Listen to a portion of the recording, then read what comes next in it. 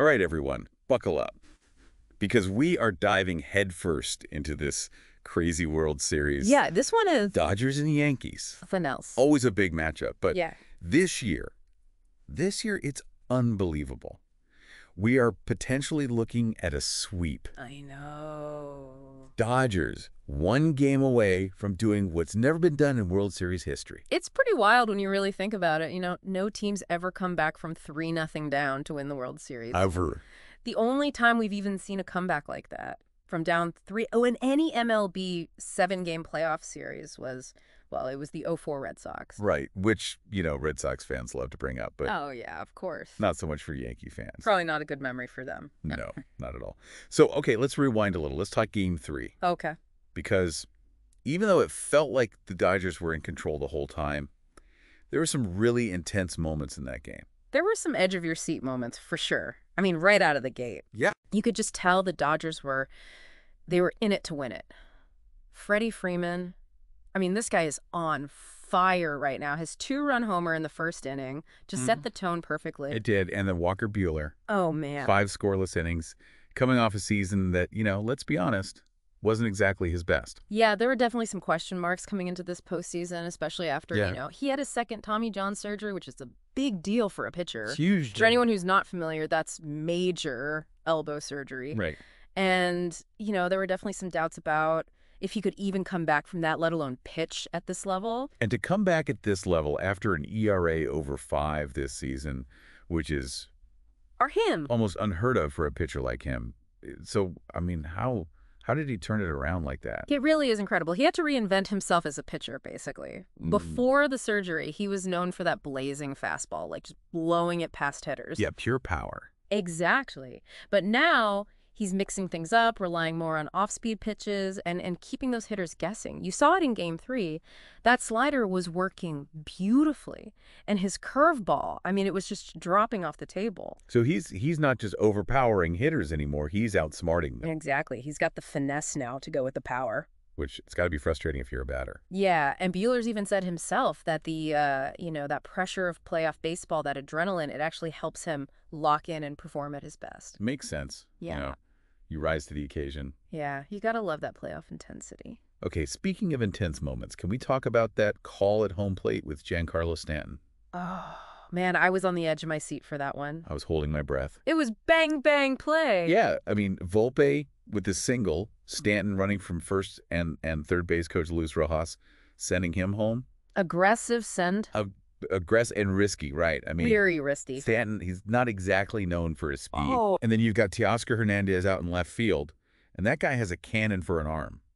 You know, there's a lot that goes into a coach's decision to send a runner home in that situation. Yeah. Looking at the score, the outs, speed of the runner, how strong the outfielder's arm is. And in this case, I think the Yankees, being down 3-0 in the series, they might have felt like they had no choice but to gamble. Had to go for it. They had to, but it didn't pay off. It did not.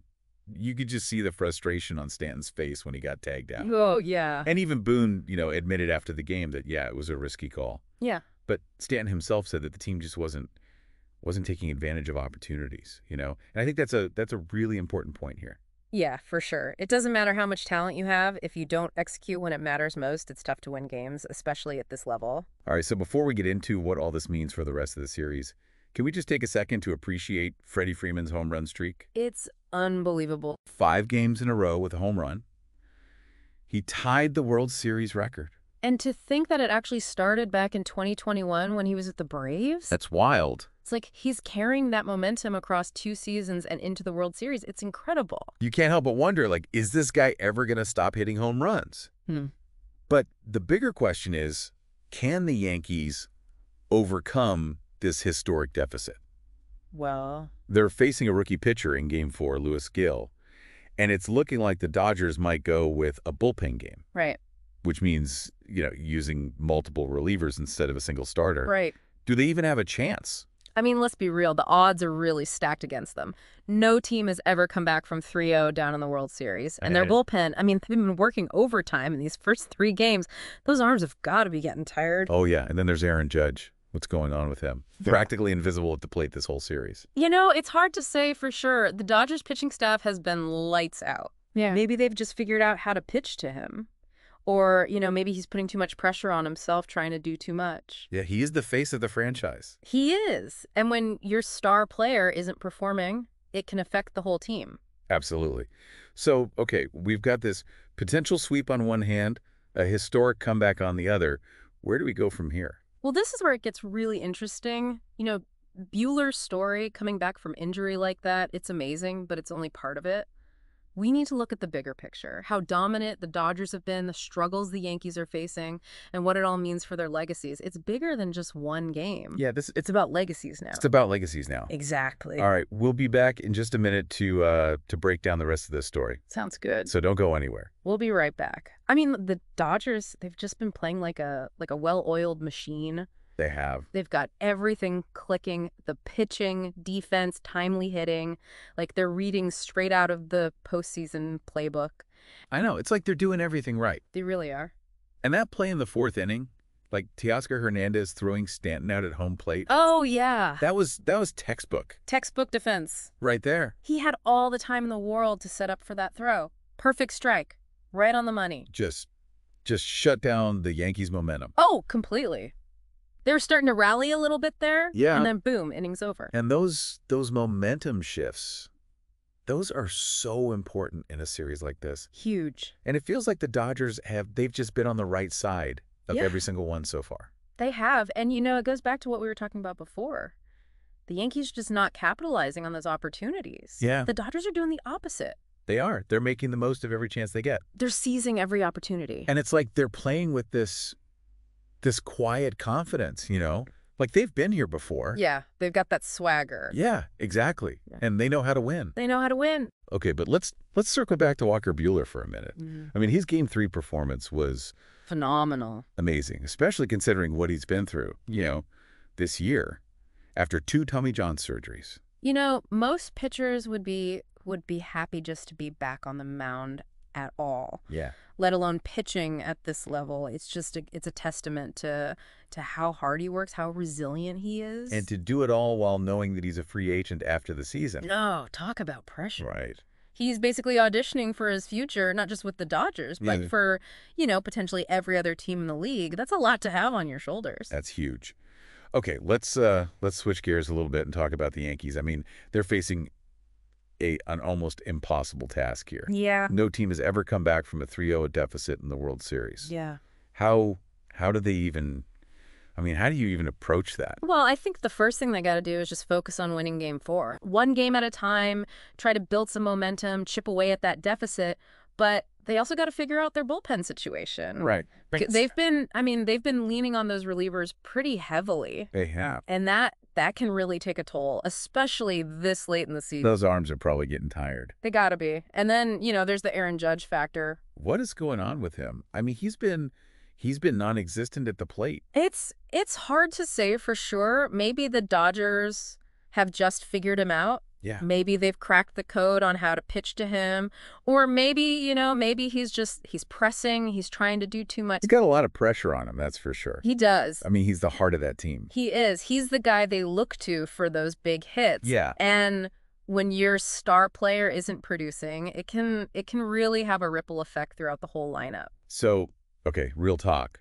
Do you do you think the Yankees have any chance of actually pulling off this miracle comeback? I mean, you look at the history, the odds are are definitely not in their favor. You got a dominant Dodgers team, their bullpen is depleted, their star Yes. player is struggling. Yeah. But, and this is a big but, baseball's a crazy game. I mean, we've seen some pretty wild things happen. we have. Remember remember the 04 ALCS? Oh, don't remind Yankee fans. The Red Sox were down 3-0 Guess who? The Yeah.